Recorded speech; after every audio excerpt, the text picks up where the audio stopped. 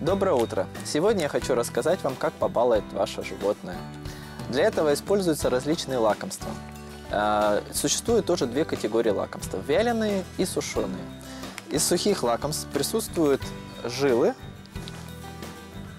либо э, лакомства из кожи, кости, рубца, желудка и так далее, прочих продуктов. Из вяленых продуктов у нас идет утиная грудка, утиный хворост, э, нарезка, нарезка из говядины, нарезка из ягненка, стейки различные, рулетики из трески и курицы.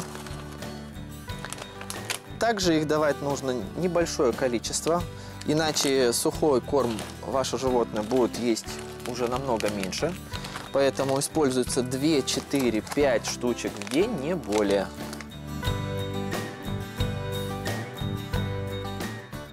Помимо э, вяленых и сухих, также идут дрессировочные у нас снеки.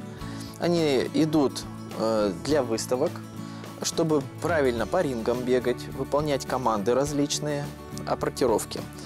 И в виде поощрения еще и используется печенье. Печенье используется как в виде глазированных, так и обычных. А Идут также для разных видов животных, как для мелких, на которых написано мини, так и для крупных. Грамотные владельцы используют лакомство также для выгулки, чтобы приучить животное правильно ходить в туалет, и играть на улице и проводить досуг. Помимо собак, кошек тоже нужно побаловать, поэтому для этого используется тоже как э, в виде игрушек лакомства.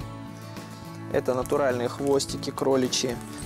Также сушеные виды лакомств. Это легкое, кишки бараньи. И в виде жевательных колбасок. В данном случае у нас э, из, из лосося. Лосось форель. Также их суточно нужно давать одну-две штучки, не более того, иначе животное просто меньше будет кушать уже натуральный сухой корм. Балуйте ваших животных, приходите к нам. Мы будем рады видеть вас в наших магазинах Урал Агро. Всего доброго, до свидания.